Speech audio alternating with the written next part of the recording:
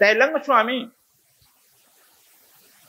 पंद्रह साल की अवस्था में शमशान घाट पर करने लगे उनका भाई वकील था, बहुत जानी मानी तमिल का। वो जाकर शमशान से लाता था, आगे ऐसा मत करो, तुम्हारा माँ भी है, बाप भी हम ही है लोग क्या कहेंगे? हम यहाँ के जमींदार हैं, धनी हैं, राज परिवार हैं। और तुम हमारा एक मात्र छोटा भाई है, तुम्हारे माँ बाप मर गया। और यहाँ हमारी अच्छी प्रैक्टिस भी है। किसी की कमी नहीं है। तुमको जो इच्छा हो, पढ़ो, लिखो, सब हम सुविधा देंगे, नौकर, चाकर, सब सुविधा देंगे। पकड़ कर लाते थे, लेकिन जिसको वैराग में मन लगता है, मेरे मन तो लागो यार फकीरी में। हाथ में सोटा, बगल में लोटा, चारों दिशा जागेरी।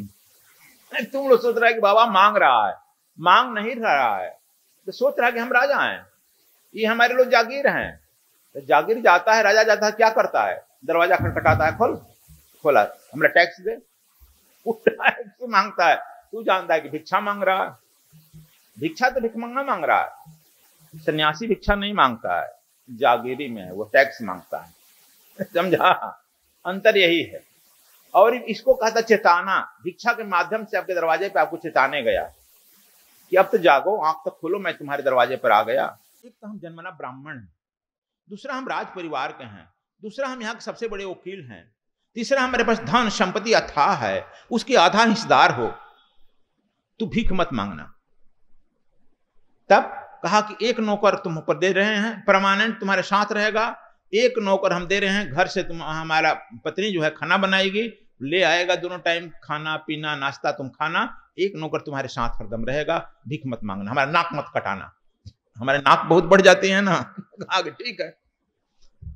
अपना बेचारा रहने लगा और जलते हुए लाश को देखता, कहा अच्छा बहुत लोग परिचित लोगों को देखता, कहा, बड़ा अहंकार था बाबा, कंघे क्रीम से नकली रूप सजाया था, और अहंकार से बहुत बड़ा था, तुम भी धू धू कर जल रहा है, हार जड़े जस लाकड़ी, केस जरे जस घास।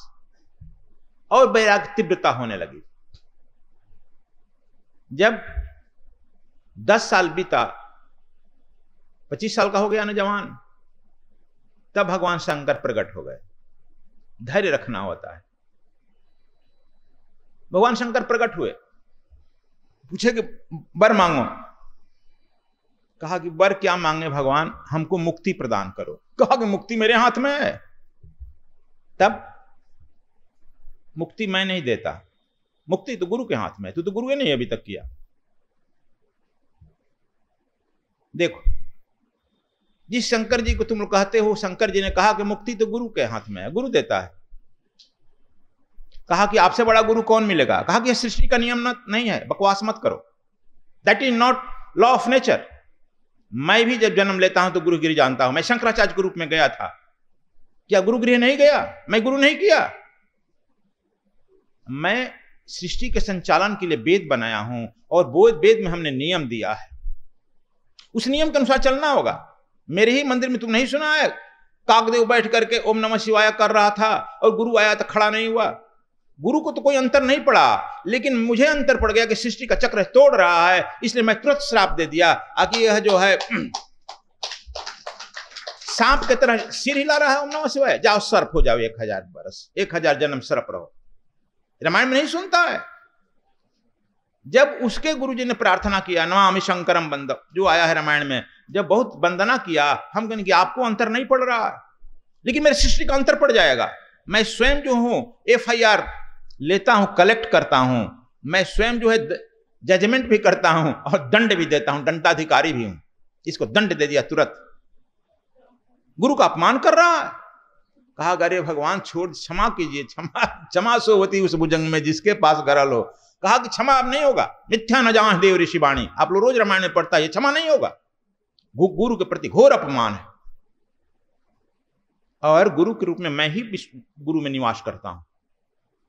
भगवान कृष्ण भी कहें अर्जुन से अर्जुन ठीक ठीक जो गुरु होता है उसके में, में मैं ही निवास करता हूँ गुरु के रूप में। भगवान शंकर भी वही कहते हैं मैं ही नहीं निवास कर रहा हूँ। तब बहुत प्रार्थना पर कहे कि चलो अब एक हज़ार जन्म तो यह लेगा सर्प का जन्म।